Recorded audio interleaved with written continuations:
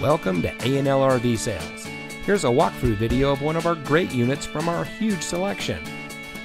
For over 25 years, A&L RV Sales has followed a simple principle.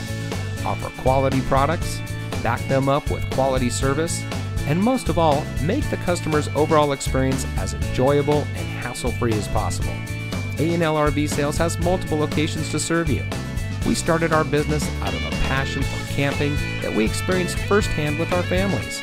And we built our reputation on going the extra mile through timely, consistent service with well informed employees, as well as a full inventory of parts and accessories.